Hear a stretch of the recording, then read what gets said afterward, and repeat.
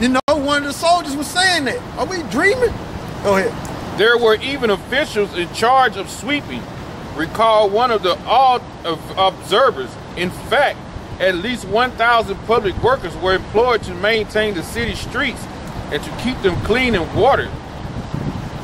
And while European cities then and for centuries thereafter took their drinking water from the uh, fetid and polluted rivers nearby. That's Esau. Esau loved drinking polluted water. That's why he doing what. That's why he doing what he doing today, putting fluoride and everything else in that water. And the reason why it was polluted over there in Europe, that's what we was. You know, southern the southern kingdom. That's what we was. And the reason why I was like that, because you had Edomites amongst us. You had Edomites amongst us. They was nasty as hell. We was trying to keep it up. That's why it was political for us to push them, push them up in the fucking mountains, man. Excuse my French, but hey, we had to do what we had to do, man. Everything was nasty. And that, and the same thing you see today when them white folks, Edom, Esau, came over to this side, what he do? Pollute everything. And that's what you see today, man.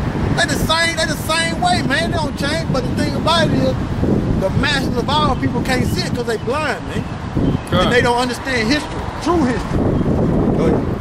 Chino Chileans drinking water came from springs deep within the mainland and was piped into the city by a huge adequate system that amazed Cortez and his men, just as they astonished also by the personal cleanness and hygiene of the colorful dress uh, populace and by the extravagant to the Spanish use of soaps, deodorants, and breath sweeteners. Yeah, they had all that. The natives had all that. You know? Uh, let me see. So they was amazed. Uh,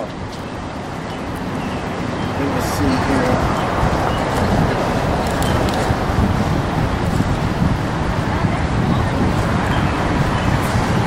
We're gonna read this about uh, the Incas, which is Asher.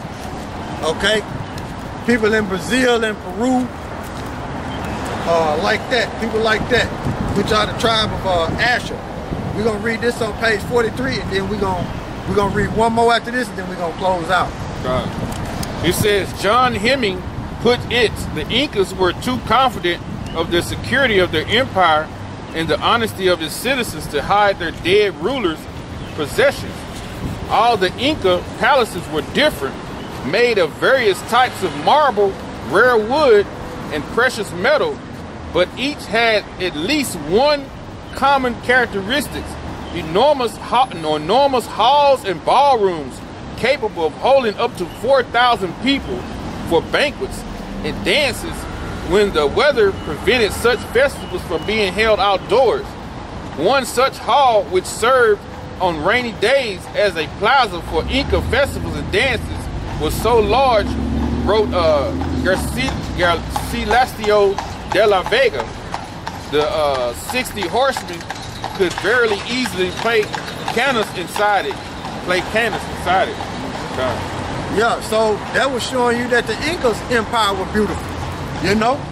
And I got a, uh, and then we got this page, and uh, God.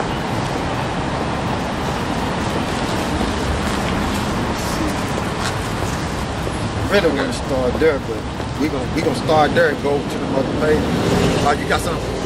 Okay. This is uh First Kings 10 and 21. And it says, And all Solomon's drinking vessels were of gold, and all the vessels of the house of the forest of Laban were pure gold, none of silver. It was nothing accounted in the days of Solomon. For the king had at sea a navy of Tarshish, which the navy of Hiram. Once in three years came the navy of Tarshish, bringing gold, silver, ivory, and apes and peacocks. So King Solomon exceeded all the kings of the earth for riches and wisdom. Yeah, when you look up that uh, when you look up that word uh, peacock, I think it means uh, uh, turkeys. Okay, when you look it up, turkeys and things of that nature. So they was coming to this land. They was coming to this land. Solomon and uh, Hiram, which Hiram was a Canaanite, a Hamite, uh, of the Phoenicians, and they was coming to this land uh, to get uh, things to build up uh, Solomon's temple. That good smelling wood. Okay, that's where you get the uh, the Olmecs at. Those are the Canaanites, and them Olmecs was set up for uh, for navigational purposes, like the sea, like the ships could see uh, the landmarks from the sea. So those were navigational uh, uh, marks. That's what those uh, the Olmecs was set up for. Uh, now this this on page this in the same book on page 13 God. the the uh, the American Holocaust same book It says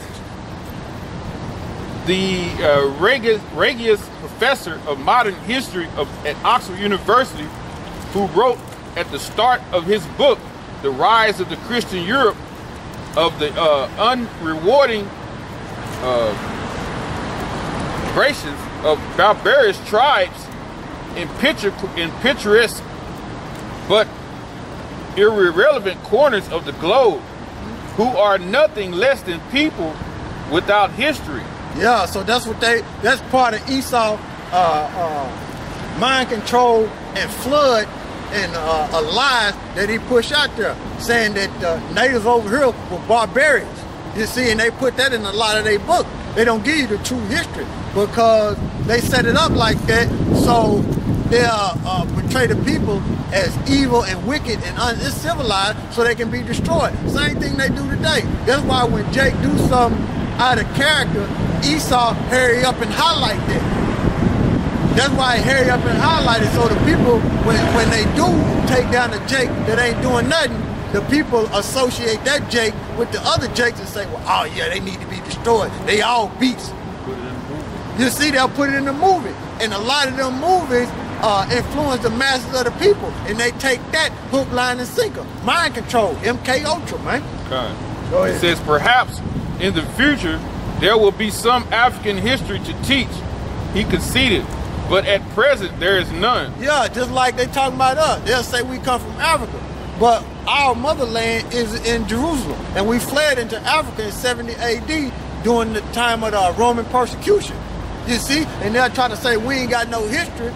But the thing about it is, that's the way the white man demonized the Negro in this country. Same way they demonized the, uh, the natives in this country, and the Latin tribes, and the Hispanic tribes. Go ahead. There is only the history of Europeans in Africa. See, that's that. That's that uh, Edomite supremacy. Go ahead. It says the rest is largely darkness, like the history of the pre-European, pre-Columbian America. And darkness is not a subject for history. Yeah, so they don't talk about it. Go ahead. The Eurocentric racial con- contempt for the indigenous people of North and South America as well as Africa that is reflected in scholarly writings.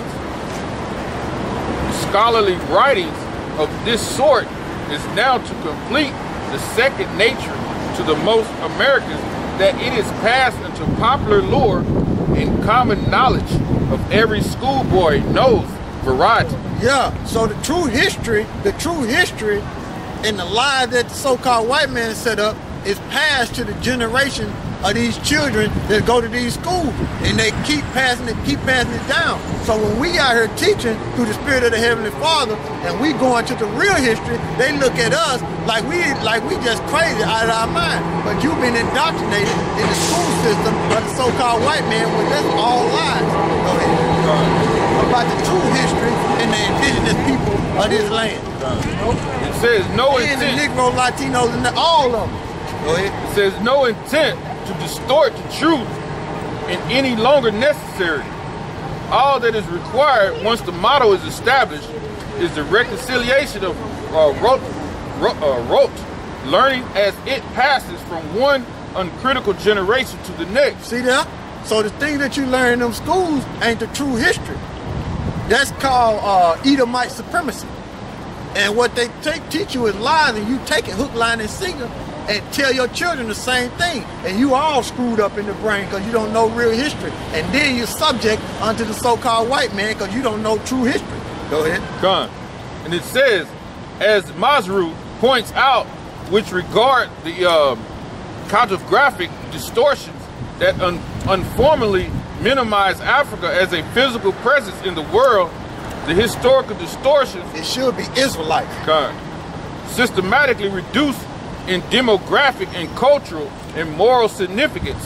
The native people of the Americas are part of very a very old and enduring political design. Woo! Go ahead. They constitute what the historians of South Africa, Leonard Thompson, called a political mythology. Yeah, it's it's all political, man. That's the reason why they do it. It's all political to keep gov- being governed over you, man. Because once you learn that truth, man, you want to separate yourself from this this way of life, man. You want to separate yourself, and that he don't want you to do. So-called white man, he wants you to be together with him so you can be destroyed. Go ahead. God. And then he'll tell you, well, why you talking about hate and why you talking about division? You're dividing the people every day because you ain't telling them who they are according to the scriptures. It says, in Thompson's words, a political myth is a tale told about the past to legitimize and discredit a regime, whereas a political mythology is a cluster of such myths that reinforce one another to jointly consti- cons- constitute the historical element of an ideology of the regime or its rivals. The occasion for these native culture and cultures, small sub- subsequently population estimates regarding the pre-conquest size of the indigenous population nicely serve to smother uh, retroactive moral scruples and otherwise might uh, surface. Writings a writings a few years after Jennings, Robert F. Berkhofer made much the same point regarding manufactured historical views of native barbarism. The image of the savage, he stated, flatly serves to rationalize European conquest. Writings about America, America's political mythology regarding the history of the Western Hemisphere indigenous people, falsified histories, Woo, falsified history. So the way they say they barbarians and they wicked and evil, all that history was falsified. It was all political, man. All political. written by the conquerors of the colonial and pre-colonial societies throughout the world. The United States, Israel, South Africa, Australia. What? Slow down. Who? United who? States, United States, Israel, Israel, South Africa, South Africa, and Australia. and Australia, Um, all are, are falsifying history. Among them commonly com- commence with what said referred to as blotting out the knowledge of the indigenous people. So the indigenous people and their heritage are not being taught who they are according to the Bible. So hey man, that's plain. With all that being brought out through the spirit, Lord willing, you brothers edified through the spirit. I know we ain't bring out a lot of scriptures, but the scriptures that we did bring out through the spirit, I hope it was edifying. I hope this history was edifying to you brothers. I hope, you know, it was all edifying. So with that, all praises to Yahweh, Hashem, Yahweh Shai, and double honors to the elders of GMS, the apostles who rule well, and salute you brothers in the strength of Yahweh Bashim Yahweh Shai, and keep teaching this truth and sincerity, and search the scriptures. And we almost out of here, Lord willing, he destroy this place soon. Shalom. Shalom. Death to America. Kwame Death to America, Kwam Yashala.